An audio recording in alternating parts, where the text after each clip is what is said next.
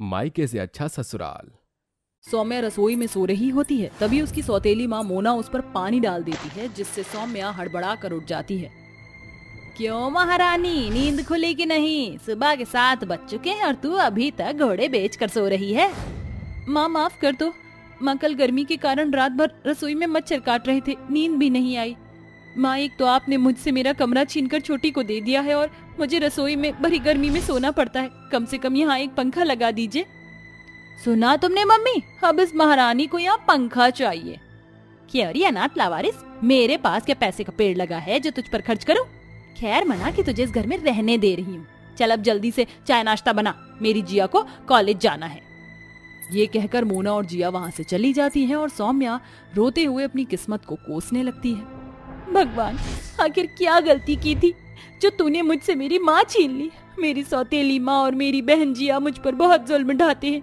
मायके का जो घर आँगन बेटी के लिए खुशियों से भरा होता है, फिर क्यों वही मायका मुझ बदनसीब बेटी के लिए दुखों से भरा हुआ है? सौम्या फूट फूट कर रोते हुए नाश्ता बनाकर अपनी सौतेली माँ और बहन को परोसती है, तभी जिया नखरे करती हुई कहती है यू मम्मी, ये देखो इसने क्या बनाया है? इतनी गर्मी में आलू के पराठे, कितना ऑयल है इसमें। ये खाकर मुझे अपना फिगर खराब नहीं करना।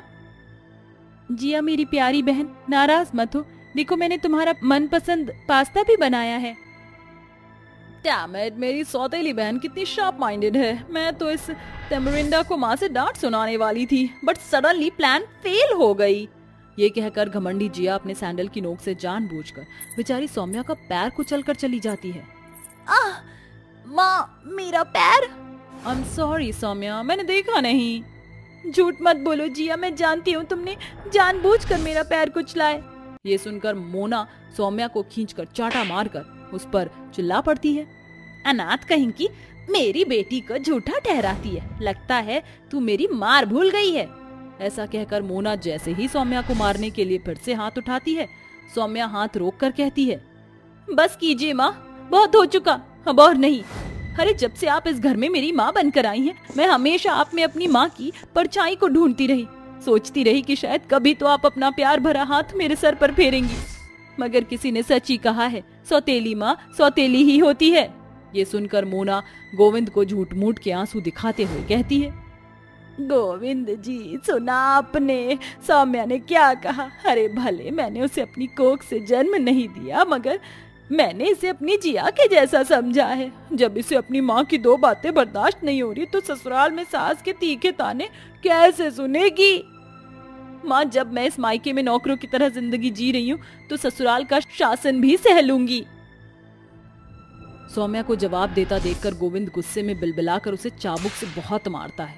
हरामजादी, एक तो पैदा होते ही मेरी पत्नी को खा गई, और अब मोना से ज़ुबान लड़ाती है। अब इसी सप्ताह में तेरी शादी होगी। ऐसा कहकर गोविंद सौम्या को स्टोर रूम में बंद करके कहता है। अब ये दरवाज़ा सीधे तेरी शादी वाले दिन खुलेगा तब तक सड़ती रहे यहाँ पे। गोविंद मोना और जिया किसी भी हालत में सौम्या से जल्द से जल्द छुटकारा पाना चाहते थे। सौम्या की शादी के लिए गोविंद ने अपने सभी दोस्तों और पंडित को भी ऐसा लड़का ढूँढने को कहा जहाँ दहेज न देना पड़े और आखिरकार सौम्या की शादी राजेश और संगीता के बेटे यश के साथ कर दी गई। जा मेरी लाडो रानी। नरक किसे कहते हैं? ये तो अब तुझे ससुराल जाकर पता चलेगा। जहाँ हुक्म जताने वाली जेठानी, नखरे करने वाली ननद और सास के ताने बाने आठों पैर सुनना पड़ेगा। मोना की ऐसी बातों से ससुराल को लेकर सौम्या का मन अब और भी ज़्यादा डर से भर गया। थोड़ी ही देर में सौम्या ससुराल पहुँच गई। सौम्या का ससुराल बहुत ही आलिशान और बड़ा था। मेरे ससुराल वाले तो बहुत ही अमीर हैं। माँ पिताजी ने मुझे दहेज देकर नहीं भेजा। कहीं बाकी बहुओं की तरह मुझे भी दहेज ना लाने के लिए अपने ससुराल वालों से ताने ना सुनने पड़े। सौम्या का मन इसी चिंता में खाए जा रहा था, तभी संगीता उसकी आरती उतारती है। सौम्या, बहू, क्या सोच रही है? इस कलश को गिराकर गृह प्रवेश करो। जी माँ जी एक मिनट ठहरिए सौम्या भाभी। इसके बाद खुशी और आरती दरवाजे से लेकर सौम्या के कमरे तक गुलाब के फूल सजाते हैं। अब गृह प्रवेश कीजिए देवरानी जी। इस ससुराल में आपका स्वागत है। अपने ससुराल में खुद का खुशियों भरा स्वागत देखकर सौम्या की आँखों में आँसू भर आते हैं तभी आरती की बेटी चिंकी सौम्या को एक ग्रीटिंग कार्ड देकर कहती है। वेलकम टू द फैमिली चाची। ये आपके लिए। अरे ये तेरे बाबूजी की तरफ़ से बहू। ससुराल का हर सदस्य घर आई बहू को ढेर सारे तोहफे देता है, जिसके बाद वह यश के साथ कमरे में आ जाती है, जहाँ लहंगे में उसे बहुत गर्मी लगती है। I am sorry Saumya. कमरे की एसी खराब हो गई है। मैं कल ही से ठीक करा दूँगा। और मैंने तुम्हारे लिए अलमारी का एक कॉर्नर खाली कर दिया है। तुम अपना सामान सेट कर लेना। और वैसे तो मुझे बेड के राइट साइड नींद आती है, मगर तुम जिस साइड कंफर्टेबल हो सो जाना। अपने अंदर किसी भी किस्म की झिझक मत रखना। अपने पति यश का प्यार भरा बर्ताव देखकर सौम्या की आँखों में खुशी के आँसू भर आते हैं। ये क्या सौम्या तुम रो रही हो? यश जी आप बहुत अच्छे हैं। ये मेरी खुश नसीबी है जो मुझे आप जैसा हम सफ़र मिला है। ऐसा कहकर सौम्या यश के गले लग जाती है जिसके बाद यश उसे गोद में उठा लेता है और दोनों अपने रिश्ते की शुरुआत करते हैं। ससुराल के पहले दिन सौम्या पाँच बजे उठकर गर्मी में काम करने लगती है। जिससे उसकी सास की नींद खुल जाती है और वो किचन में चली, जहाँ सौम्या को पसीने से भीगा हुआ देखकर वो कहती है, अरे, ये क्या सौम्या बहू? गर्मी के कारण तू पसीने से तर हो गई है और अभी तो सिर्फ़ पाँच बज रहे हैं, इतनी जल्दी क्यों उठ गई? वो माँ जी, आज मेरी ससुराल में पहली रसोई है। बर्तन मांजते और साफ़ सफ़ाई करने में सात आठ तो बज ही जाएँगे। अरे, मेरी प्यारी बहू, इन सब कामों के लिए घर में नौकर चाकर हैं। और तुझे गर्मी झेल कर रसोई का काम करने की ज़रूरत नहीं। उसके लिए भोला भैया है। और अभी तो तेरे हाथों की मेहंदी भी नहीं छूटी। देख पसीने के मारे क्या हालत बना लिए। जा अपने कमरे में जाकर आराम कर। अपनी सास के इस अपनेपन पर सौम्या की आँखों के आगे मायके की कड़वी यादें उभर आती हैं। जब उसे ना सिर्फ़ भरी गर्मी में खाना बनाना पड़ता, बल्कि बिना पंखे के रसोई में ही रात भर गर्मी में सोना पड़ता। सुबह नाश्ते की मेज पर आकर जैसे ही अपने ससुर के पैर छूने आती है, तभी राजेश कहता है सौम्या बहू मेरे पैर छूकर अपने बाबूजी को क्यों पाप का भागीदार बना रही हो? मगर बाबूजी बहू होने के नाते ये मेरा फ़र्ज़ है। बेटी बहू घर आँगन की लक्ष्मी होती है और लक्ष्मी की जगह पैरों में नहीं होती और मेरे लिए तू बहू नहीं मेरी बेटी है। अपने ससुर की स्नेह भरी बातों से बहू का दिल भर आया। जिस पिता के प्यार के लिए सौम्या अपने मायके में हर पल तरसती रही आज वह स्नेह उसे अपने ससुर से मिला। धीरे धीरे सौम्या अपने मायके की तमाम कड़वी यादों को भुलाकर अपने ससुराल में घुल मिल गई, जहाँ उसकी जेठानी घर के कामों में उसका हाथ बटाती, वहीं खुशी स्नेहा को हंसाती रहती। देवरानी जी, ये देखिए मैं आपके लिए क्या लाई हूँ। चाट पापड़ी, ये तो मुझे बहुत ज़्यादा पसंद है। मगर आरती भाभी, आपको कैसे पता? अब दिल से दिल मिलते हैं, पसंद नापसंद अपने आप पता चल जाती है, देवरानी जी। ये लीजिए, खाइए। ऐसा कहकर आरती बड़े प्यार से सौम्या को चाट पापड़ी खिलाने लगती है। तभी सौम्या की आँखों के आगे अपनी सौतेली बहन जिया की यादें उभर आती हैं। जो ख्वाहिश मुझे अपनी बहन से थी, आज वो मुझे अपनी जिठानी की छवि में मिली। भगवान तेरा शुक्रिया, तूने मुझको इतना प्यार भरा ससुराल देकर मुझ बदकिस्मत की झोली में खुशियाँ ही खुशियाँ भर दी। सौम्या ऐसा सोच ही रही होती है, तभी यश एक नई एसी और फ्रिज लाता है। माँ, सामान आ गया। यश बेटा इस फ्रिज को रसोई में और एसी को सौम्या बहू के कमरे में सेट कर दे। माँ जी, फिजूल खर्ची की क्या ज़रूरत थी? ज़रूरत कैसे नहीं थी? मैं नहीं चाहती कि मेरी नई बहू को अपने ससुराल में किसी चीज़ की कमी हो और फिर फ्रिज की ज़रूरत तो घर में थी ही और तेरे कमरे का एसी भी खराब हो गया था। ऐसे में मेरी बहू गर्मी झेले ही मुझे गवारा नहीं। क्या हुआ सौम्या बहू? क्या सोचने लगी? बस माँ जी अपनी खुश नसीबी को सोच रही हूँ। माँ के चले जाने के बाद और सौतेली माँ के आ जाने के बाद मैं अपने मायके में नौकर बनकर रह गई। हमेशा मैं अपनी किस्मत को कोसती थी कि मेरे साथ ऐसा क्यों हुआ और मुझे हमेशा ये डर सताया करता था कि जब मेरे बाबुल का घर आँगन मेरा अपना ही ना हो सका तो ससुराल कैसा मिलेगा। मगर मैंने तो कभी सपने में भी नहीं सोचा था कि मुझे इतना प्यार करने वाला ससुराल मिलेगा। सहेली जैसी ननद, बहन जैसी जेठानी और माता पिता से बढ़कर प्यार करने वाले सास ससुर मिलेंगे। भगवान करे मुझ जैसा मायका किसी लड़की को ना मिले और अगर मिले तो उन्हें मेरी तरह मायके से अच्छा ससुराल मिले। जिन खुशियों के लिए सौम्या अपने मायके में हर दिन तरसती रही, आखिर में वो प्यार और अपनापन उसे अपने ससुराल में आकर मिला। चिंटू, देख, शाम ढल गई। आइसक्रीम वाला आता ही होगा। चल, चलते हैं। ये कहकर राधा और चिंटू घर के बाहर आकर बैठ जाते हैं, तभी पूरा गाँव आइसक्रीम वाले की आवाज़ से गूंज उठता है। आइसक्रीम ले लो, आइसक्रीम, ठंडे, ठंडी ice cream, mango ice cream, chocolate ice cream, vanilla ice cream, आओ आओ, प्यारे प्यारे बच्चों, आओ, आ गया है गर्मियों का, बेंजीज, ठंडा ठंडा आइसक्रीम। आवाज़ सुनकर बहुत सारे बच्चे पैसे लेकर भागते हुए आइसक्रीम वाले के पास भीड़ लगा लेते हैं और तरह तरह की आइसक्रीम खरीद कर खाने लगते हैं। वहीं गरीब बच्चे चिंटू और राधा ललचाई आँखों से आइसक्रीम को देख रहे होते हैं। काश कि हम भी ये स्वादिष्ट आइसक्रीम खा पाते।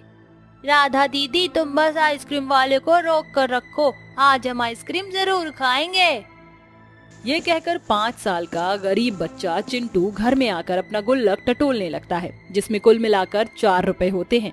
पैसे लेकर ना समझ चिंटू आइसक्रीम खरीदने आता है। अंकल हमें भी दो महँगी वाली वेनिला आइसक्रीम दे दो। ये देखो पैसे हैं मेरे पास। ये कहकर मासूम चिंटू मुट्ठी खोल देता है तभी कंजूस आइसक्रीम वाला चिंटू पर चिल्ला पड़ता है। अरे ओ फटीचर सपने देख रहा है क्या? सबसे सस्ती संतरे वाली आइसक्रीम भी दस रुपए की है। और तुझे चार रुपए में दूँ? ये दो आइसक्रीम चाहिए, वो भी वेनिला की हाँ? ये पकड़ तेरे चार रुपए। और चल फुट यहाँ से। औकात होती नहीं है और आ जाते हैं आइसक्रीम खाने भूखे रंगे कहीं के। दोनों गरीब बच्चे आँखों में आँसू लिए रसोई में काम कर रहे अपनी माँ कविता के पास आते हैं। अरे, क्या बात है बच्चों? तुम दोनों रो क्यों रहे हो? दोनों बच्चे बिलख बिलख कर रोते हुए कविता को पूरी बात बताते हैं। माँ आइसक्रीम वाले ने गरीब के घर हमें भगा दिया। आपको पता है सोनू गुड्डू और हर्ष हर रोज स्कूल के बाहर आइसक्रीम खाते हैं। मुझे और राधा को ललचवाते हैं और हमें गरीब कहकर हमारी हँसी उड़ाते हैं। माँ हमें भी आइसक्रीम खानी है। बच्चों हम गरीब हैं और तुम्हारे पिताजी के पास इतने पैसे नहीं हैं। कि वो तुम्हारे लिए आइसक्रीम खरीद कर ला सके। चलो दोनों बाहर जाकर बैठ जाओ रसोई में गर्मी और धुआँ हो रहा है। इसके बाद दोनों बच्चे अपनी दादी सरस्वती के पास आ जाते हैं जिसके थोड़ी ही देर में कमल और अर्जुन घर लौट आते हैं। अर्जुन बेटा पंडित जी ने तेरे लिए रिश्ता भेजा है। लड़की गरीब घर की है और एक न एक दिन तो तुझे अपनी गृहस्थी बसानी ही है। तू अपनी राय बता दे बेटा। माँ आपको जैसा ठीक लगे अर्जुन की मंजूरी के बाद सरस्वती अपने बेटे की शादी गरीब घर की पूजा के साथ मंदिर में कर देती है और उसे बहू बनाकर घर लाती है। देवरानी जी, इस कलश को गिराकर गृह प्रवेश करो। जी जेठानी जी। पूजा भाभी, हमारे गरीब परिवार में आपका स्वागत है। अपनी जेठानी कविता की ही तरह पूजा भी धीरे धीरे अपने गरीब ससुराल में ढल जाती है। एक दिन की बात है। कमल भैया, मुझे कॉलेज की फ़ीस भरनी है, पैसे दे दीजिए। अरे छोटी मुझे शाम तक का समय दे दे। मैं तुझे पैसे दे दूँगा। ये कहकर कमल काम पर चला जाता है और कुछ दूर आने के बाद एक कूड़ेदान में आकर अपनी गरीबी को सोचकर फूट फूट कर रोते हुए कहता है मुझे माफ़ कर देना कविता। मुझे माफ़ कर देना बच्चों। मगर मैं तुम्हें बता भी नहीं सकता कि तुम्हारा बाप इस वक्त बेरोजगार है और घर का चूल्हा जल सके इसीलिए कारखाने से काम छूटने के बाद मुझे छुप छुपा कर कचरा बीनना पड़ रहा है। अपने घर की जरूरतों के प्रति जिम्मेदार होने के कारण काम न होने पर कमल हर दिन कड़कती धूप भरी गर्मी में कूड़ेदान से उठ रही बदबू झेलकर बेबसी में कूड़ा बीनता था। अरे आज तो इस कूड़ेदान में जरा भी लोहा प्लास्टिक नहीं। आधा दिन बीत गया। मुझे कहीं और जाकर कूड़ा बीनना चाहिए। शायद सड़क पर कूड़ा कचरा मिल जाए। ये कहकर कमल कंधे पर बोरी उठाकर सड़क पर निकल पड़ता है जहाँ प्लास्टिक की बोतलें पड़ी होती हैं तभी उसका गला सूखने लगता है। मुझे ज़ोर की प्यास लगी है। मगर यहाँ तो एक भी प्याऊ नहीं जिससे मैं पानी पी लूँ। आइसक्रीम ले लो आइसक्रीम। ठंडी ठंडी मीठी मीठी आइसक्रीम। नट्टू लाल की लाजवाब आइसक्रीम। आइसक्रीम देखकर कमल झट से वहाँ जाता है। आ, अरे वो आइसक्रीम वाले भैया एक आइसक्रीम कितने की दी? कमल के कंधे पर कचरे की बोरी देखकर आइसक्रीम वाला उसे घिन भरी नज़रों से घूरते हुए टेढ़ा सा जवाब देता है।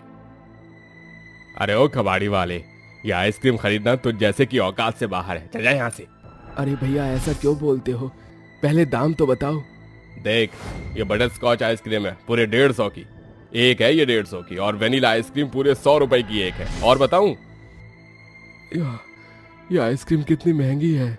सौ रुपए की आइसक्रीम खाने से अच्छा क्यों ना मैं साग सब्ज़ी खरीद कर घर ले जाऊँ? भैया ये आइसक्रीम रहने दो। बस थोड़ा सा पानी दे दो। ताकि मुझे गरीब का गला गीला हो जाए। आइसक्रीम वाला कमल को थोड़ा सा पानी पिला देता है और गरीबी के हाथों लाचार कमल आइसक्रीम खाने की ललक के साथ घर चला जाता है। इसी तरह कमल का परिवार गरीबी में दिन काटता है। तभी रोज की तरह शाम ढलते ही आइसक्रीम वाला गली में आता है। आइसक्रीम खा लो आइसक्रीम ठंडी मीठी आइसक्रीम तरह तरह की आइसक्रीम। माँ देखो आइसक्रीम वाला आया है। आज तो हमें आइसक्रीम दिला दो। बच्चों, मेरे पास आइसक्रीम खरीदने के लिए पैसे नहीं हैं। चिंटू और राधा रोते हुए सरस्वती से आइसक्रीम खरीदने को कहते हैं। दादी माँ दादी माँ, आप ही हमें आइसक्रीम दिला दो ना। बच्चों, अगर मेरे बस में होता तो मैं तुम्हें ढेर सारी आइसक्रीम खिलाती, मगर मेरे पास एक खोटा सिक्का नहीं। ये सुनकर राधा और चिंटू गुस्सा होकर कहते हैं। पता नहीं कैसे, पर टीचर के घर पैदा हो गए हम, जिनके पास हमें आइसक्रीम खरीदने के भी पैसे नहीं है। हाँ चिंटू तो सही कह रहा है, इस घर में हमें दाल रोटी के सिवा कुछ भी नहीं मिलता। हाँ काश हम भी अमीर घर में पैदा होते, क्योंकि उनके बच्चों का जब मन चाहता फ्रिज खोलकर आइसक्रीम खाते हैं। और इसीलिए कि हम गरीब है, हमें हमेशा मन मार कर रुखा सूखा खाना पड़ता है। अपने बच्चों को गरीबी का ठट्टा उड़ाता देखकर कविता गुस्से में राधा और चिंटू को चांटा मारती है। बस, बहुत हो चुका तुम दोनों का। तुम्हें समझना होगा कि हम गरीब हैं। तुम्हारे पिताजी और चाचा सारा दिन गर्मी में खून पसीना बहाते हैं। तब जाकर हम गरीब के घर का चूल्हा जलता है। कविता भाभी, बच्चों को मत मारो। चलो राधा चिंटू, मैं तुम्हें इन पैसों से आइसक्रीम खिलाती हूँ। मगर नेहा, ये पैसे तो तुम्हारी फ़ीस के हैं। तुमने कहा था कि अगर तुम फ़ीस नहीं भरोगी तो वो तुम्हें एग्ज़ाम में बैठने नहीं देंगे। सच कहा था भाभी, मगर मेरा पढ़ना मेरे भतीजे भतीजी की खुशी से बढ़कर नहीं। इन्हें आइसक्रीम खाना है और मैं इन्हें आइसक्रीम खिलाऊँगी। तुम रहने दो नेहा, मैं देखती हूँ कुछ।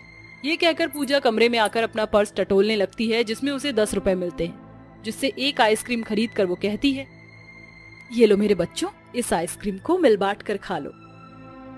दोनों बच्चे खुशी से भरकर आइसक्रीम बांट कर खा लेते हैं। बच्चों को आइसक्रीम खाता देखकर गरीब ससुराल वाले के मन में आइसक्रीम खाने की खोई हुई इच्छा जाग जाती है। अगले दिन नेहा कॉलेज के फ़ीस काउंटर पर आती है। यार, श्रेया, ये फ़ीस काउंटर बंद क्यों है? अरे, मेरी लल्लू राम सहेली कर दी ना लल्लू पंती हरे कैश काउंटर पर फ़ीस करने की क्या ज़रूरत है? ला दे, मैं ऑनलाइन तेरी फ़ीस भर देती हूँ। फ़ीस भरते ही श्रेया को ढाई सौ रूपए मिलते हैं।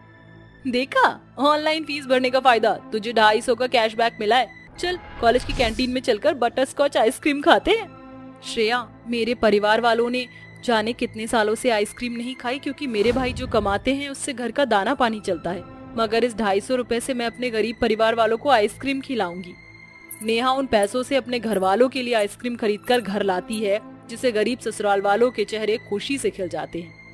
राधा दीदी देखो बुआ हमारे लिए आइसक्रीम लाई है। ये लो बच्चों आइसक्रीम खाओ। माँ कविता भाभी पूजा भाभी आप भी आइसक्रीम खाइए ना। मगर ननद जी तुम्हारे पास तो पैसे नहीं थे फिर आइसक्रीम कहाँ से? भाभी वो सब छोड़ो। हाँ बस आइसक्रीम खाओ वरना आइसक्रीम पिघल जाएगी।